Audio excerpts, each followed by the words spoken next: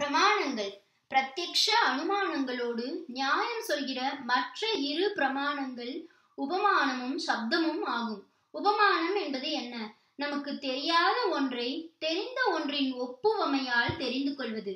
கவயம் என்று ஒரு மிருகம் இருக்கிறது. அது எப்படி இருக்கும் என்று நமக்கு தெரியவில்லை. காட்டெருமை மாதிரி ஒன்று அது. பார்த்தால் மாடு மாதிரியே இருக்கும் என்று அதை பற்றி சொல்லியிருக்கிறது. நாம் எங்கேயோ காட்டு பக்கம் போகிறோம். அங்கே இப்படி மாடு மாதிரியான ஒரு மிருகத்தை பார்க்கிறோம். இதுதான் கவயம் என்று தெரிந்து கொள்கிறோம். உபமானம் என்பது இதுவே. சப்த பிரமாணம் என்பது வாக்கு ரூபமான வேத பிரமாணமும் சத்துக்களான பெரியவர்களின் வாக்கும் ஆகும். நமக்கு தெரியாத விஷயங்களை வேதமும் மகான்களும் சொல்லும்போது அதிலே பொய்யே இருக்காது என்று பிரமாணமாக எடுத்துக்கொள்ள வேண்டும். வேதம் ஈஸ்வர வாக்கு என்பதே நையாயிகர்களின் நியாய சாஸ்திரக்காரர்களின் கருத்து. அதனால் அது பிரமாணம். சத்தியசந்தர்களாக இருக்கப்பட்ட மகான்கள் சொல்வதும் சப்த பிரமாணத்தில் சேர்க்கப்பட வேண்டியது. இந்த நாலு பிரமாணங்களும் மீமாம்சையில் குமாரில பட்டரின் சித்தாந்தத்தில் ஏற்றுக்கொள்ளப்பட்டிருக்கின்றன. இவற்றோடு கூட அத்தாபத்தி அனுபலத்தி என்று ரெண்டையும் சேர்த்து அவர் ஆறு பிரமாணங்களை சொல்கிறார். நம்முடைய அத்வைத வேதாந்தத்திலும் இந்த ஆறு பிரமாணங்களையும் ஏற்றுக்கொண்டிருக்கிறோம். அர்த்தாபத்தி என்பதற்கு நம் சாஸ்திர நூல்களில் ஒரு உதாரணம் சொல்லி சட்டென்று புரிய வைத்திருக்கிறது. பீனோ தேவதத்தோ திவான புங்தே என்று சொல்லியிருக்கும். குண்டன் தேவதத்தன் பகல் வேளையில் சாப்பிடுவதில்லை என்று அர்த்தம். பகலில் சாப்பிடாமலும் அவன் இழைக்கவில்லை குண்டாக இருக்கிறான் என்று இந்த வாக்கிலிருந்து ஆகிறது. இதிலிருந்து என்ன தெரிகிறது?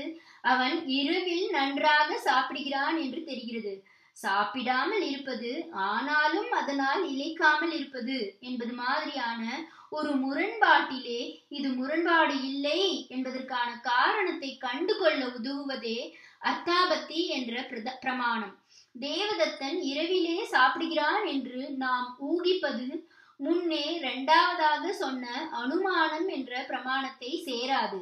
அனுமானத்தில் ஒரு விஷயத்தை ஊகிப்பதற்கு அதிலிருந்தே ஒரு அடையாளம். மேகத்திலிருந்தே இடி மாதிரி நெருப்பிலிருந்தே புகை மாதிரி தோன்ற வேண்டும். இங்கே அப்படிப்பட்ட லிங்கம் எதுவும் இல்லை. உபமானத்திலும் இப்படியே. இது கவயம் என்று நாம் காட்டு மிருகத்தை கண்டவுடன் ஊகித்து விடுவதால் மட்டும் அது அனுமானமாகிவிடாது. இங்கேயும் லிங்கத்தை கொண்டு மிருகத்தை நாம் அடையாளம் புரிந்து கொள்ளவில்லை. ஏற்கனவே நமக்கு தெரிந்த கவய வர்ணனையின் ஒப்புவைய ஒப்புவமையாலேயே அறிகிறோம். கடைசி பிரமாணம் அனுபலப்தி. ஒன்று இல்லை என்பதை அறிந்து கொள்வதே அனுபலப்தி. அபாவம் என்பதை ஏழு பதார்த்தங்களில் கடைசியாக நியாயத்தில் சொல்லியிருக்கிறது என்றேன் அல்லவா? அந்த அபாவத்தை நாம் எதனால் தெரிந்து கொள்கிறோமோ அதுவே அனுபலப்தி. அந்த கொட்டகையில் யானை இருக்கிறதா? போய் பார் என்று சொன்னால் போய் பார்க்கிறோம். யானை இருந்தால் இருக்கிறது என்று தெரிந்து கொள்கிற மாதிரியே யானை இல்லாவிட்டால் இல்லை என்பதையும் தெரிந்து கொள்கிறோம்.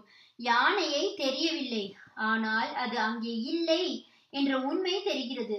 யானையை தெரியாததாலேயே இந்த உண்மை தெரிகிறது.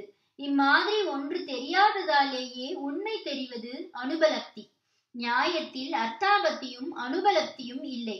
மீமாம்சையிலும் அத்வைத வேதாந்தத்திலுமே உள்ளன.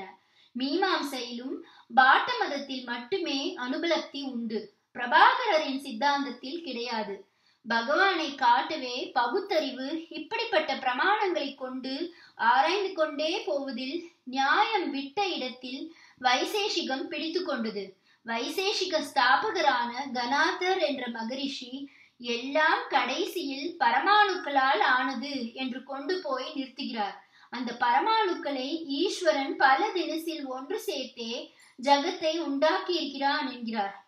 ஜகத்து ஜீவன் எல்லாமே ஈஸ்வரனுக்கு வேறேயாக துவைத்தமாகத்தான் நியாய வைசேஷிகங்களில் பேசப்படுகின்றன. சைத்தன்யமான ஜீவனின் சிற்றறிவு எங்கே இருந்து வந்தது? ஜடமான அணு எங்கே இருந்து வந்தது என்று கேட்டுக்கொண்டே மேலே மேலே போகிற போதுதான் கடைசியில் எல்லாம் பரமாத்மாவின் பல தோற்றங்கள் வேஷங்கள் தான் என்று அத்வைத்தமாக முடிகிறது. அந்த அத்வைதத்தில் முடிவதற்கும் நியாய சாஸ்திரம் இடைநிலையில் வேண்டியிருக்கிறது. பகுத்தறிவுக்கு உரிய இடத்தை கொடுப்பதே நம்முடைய நியாயம் அல்லது தர்க்கம். அது அறிவு ஆராய்ச்சி நிரம்ப பண்ணுகிறது அதற்காக ரேஷனலிசம் என்பது மெட்டீரியலிசம் ஆஸ்திசம் மாதிரியான லோகாயதவாதமாக நிரீஸ்வரவாதமாக நாஸ்திகமாகத்தான் இருக்க வேண்டும் என்றில்லை என்றும் காட்டுகிறது. அறிவு ஆராய்ச்சியின் மூலமே இத்தனை கிரமத்தோடு ஒரு லோகம் ஏற்பட்டு அதில் இத்தனை ஜீவ ஜந்துக்களின் வாழ்க்கை ஒன்றுக்கொன்று இசைந்து உண்டாகி இருக்கிறது என்றால் இதையெல்லாம் செய்கிற ஒரு ஈஸ்வரன் இருக்கத்தான் வேண்டும் என்கிறது. நம் பகுத்தறிவு போக முடியாத இடமும் உண்டு என்பதை நியாய சாஸ்திரம் ஒப்புக்கொள்வதனால்தான் நம்மால் நிரூபித்து பார்க்க பார்த்து கொள்ள முடியாத விஷயங்களை கூட வேதம் சொன்னால் ஏற்கத்தான் வேண்டும் என்கிறது.